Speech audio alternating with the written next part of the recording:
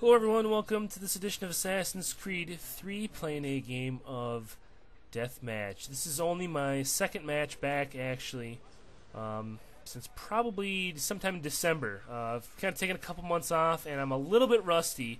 Uh, as you can see right there, she just walked I don't know. She was obviously a player. She walked right towards me, and I remember thinking about using smoke bomb or knives, and then thought, no, better not, just in case she's not after me. And it makes no sense because if you think someone's after you, just defend yourself. You know, why not? Uh, you'll end up dead like like I just did. So, a little rusty. You're gonna see some stuff like that uh, throughout this match. A little bit of paranoia as well uh, seeps in as I try to figure out who's who. Okay, there's my contract. I'm gonna take a roundabout approach, go around here. Fortunately for me, though, she's gonna go just all in, high profile, which is awesome because it opens up this kill opportunity right there. He's not paying attention or whatever. He gets distracted. I can sneak in there and uh, get the kill. So, all right, pursuer, multiple pursuers. Can I get a contract? Thank you. And you know that seems to happen to me too. Whenever I don't have um, a contract or a pursuer, and I'm waiting for you know one or the other, I always seem to get the pursuers first. And I don't know if it's uh, designed that way or if I just have really, really, really bad luck. But uh, anyway, Speaking of luck, look at this. How's this for good luck? Boom, baby, look at that. Returns to the scene of the crime and he ends up a victim a second time. I like it. Okay, scanning for pursuers again. Now looking around and uh, fail. How about that? She's standing right in that blend group. If you rewind the video, she's right in the blend group I walk by.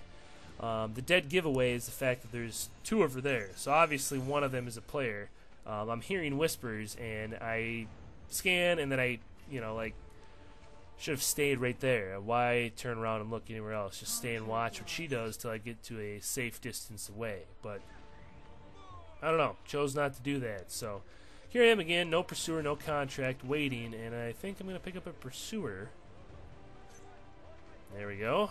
And then I wait for the the contract. Obviously, growing increasingly paranoid as I'm wandering around. Okay, whew. All right, there we go. Pursuer gives herself away. I like it. Hey, his contract. Guess what? He's pursuing the pursuer. Guns are down. Oh man, this is fantastic. Okay, now I'm pretty sure this guy knows I'm after him. Uh, right about here. He runs away. He's gonna do this right around. Look at that. Whoop! Turns around like, okay, he's at. He knows I'm after him and apparently not.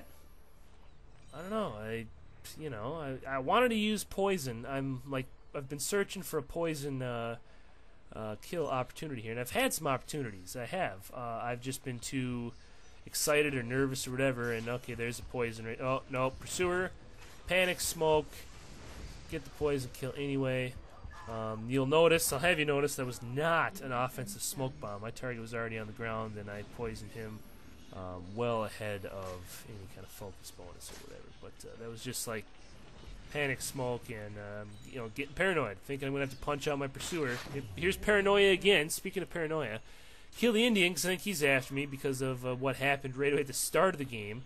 So no, oh, there we go. Perfect punch out. My no, okay, big mistake there again. Two, still locked onto my target. So uh, you know, obviously killed the target and just got killed by the pursuer.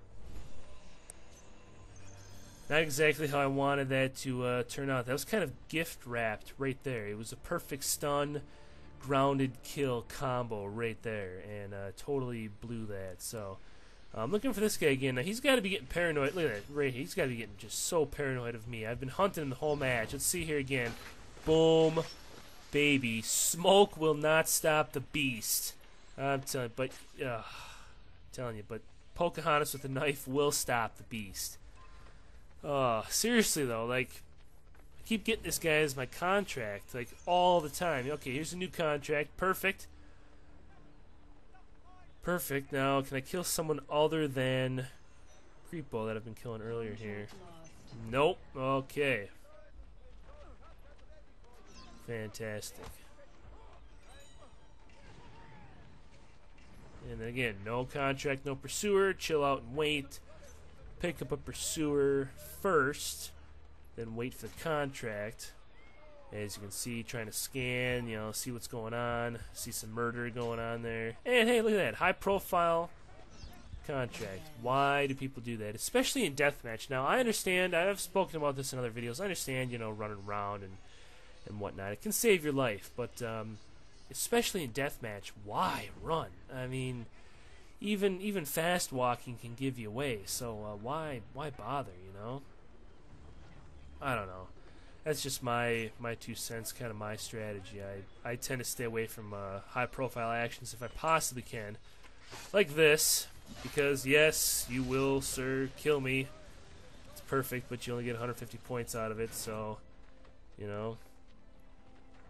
I don't know. Is that worth it? I don't. I don't think it's worth it. Obviously, he thought it was. I certainly don't think so. Okay, now there's pursuer. And look, he's still angling towards me in disguise. I'm pretty sure the whole line of sight thing gives me away. That's hence the reason for the knives. And uh, yes, I noticed the barmaid there sitting on these stools. So I'm to try to avoid her. Avoid. Oh, hey, look at that. Free gift to me. Thank you.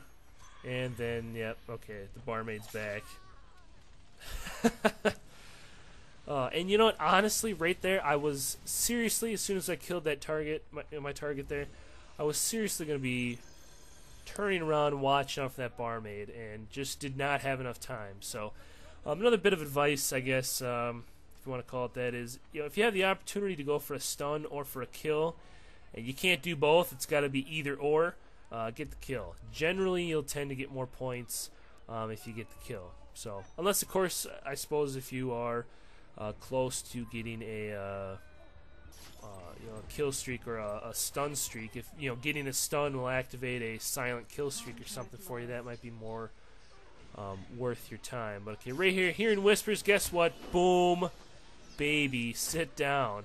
Just a lucky guess. You know, I knew he was a player from earlier.